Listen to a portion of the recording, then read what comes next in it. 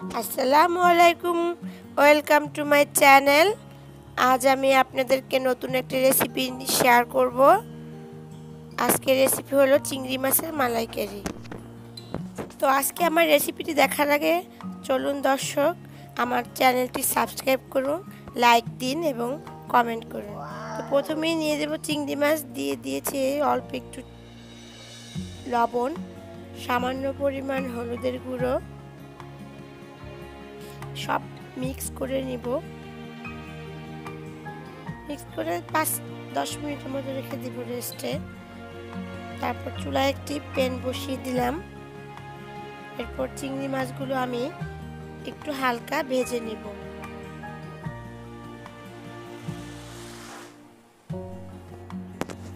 আমি চিংড়ি মাছগুলো উল্টিয়ে পাল্টিয়ে এপাশ ওপাশ করে ভেজে নিব এবং আমি অল্প করে হালকা করে ভেজে নিব।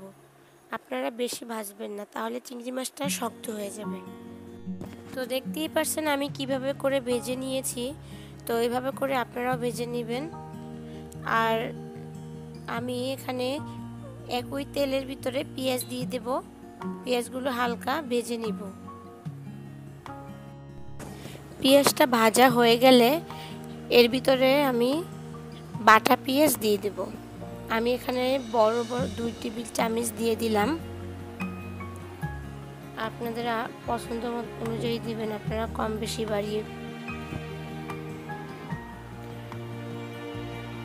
এরপর যে একটু নাড়াচাড়া করে এর ভিতরে দিয়ে দিব সামান্য লবণ, সামান্য হলুদের গুঁড়ো।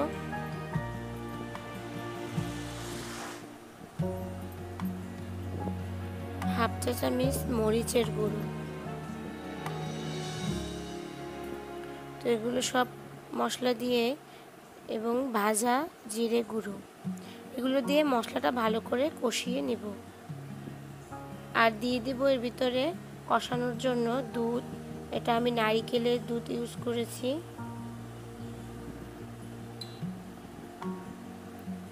এটা স্বাদ অনেক ভালো হয় নারিকেলটা ইউজ করলে।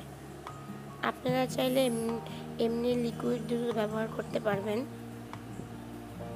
তা আমি মশলাটা ভালো করে কষিয়ে নেব। আর দিয়ে দেব এর ভিতরে বাদাম বাটা। আমি বাদামটা ভালো করে পেস্ট করে নিয়েছি। তো এই পর্যায়ে আমি ঢাকনা দিয়ে দেব কষানোর জন্য। আমি পাঁচ মিনিট মশলাটা কষিয়ে নিব। তো দেখুন, মশলাটা কষানো হয়ে গেছে। পাঁচ মিনিট পর ঢাকনা উঠিয়ে নিয়েছি। উপরে তেলটা ভেসে উঠেছে। এ পর্যায়ে আমি তিন চারটা কাঁচামরিচ দিয়ে দেব। আপনাদের কাছে আমি আগেই ছড়ি ভরে নিলাম, কারণ আমি এর ভিতরে আদা, রসুন দিয়েছি, কিন্তু সেটা স্কিপ হয়ে গেছে। এর জন্য আমি দুঃখিত। তো এর পর্যায়ে আমি দিয়ে দিলাম মাছগুলো। ভেজে রেখেছি, সেই মাছগুলো দিয়ে দিলাম। আর দিয়ে দেবো এক টেবিল চামচ ঘি। এটা দিলে গ্রানটা অনেক সুন্দর আসে, ফ্লেভারটা। আর দিয়ে দেব নারিকেলের দুধ। তো আমি এখানে কোনো পানি ইউজ করি নাই, আমি সম্পূর্ণটাই নারিকেলের দুধ দিয়ে করেছি।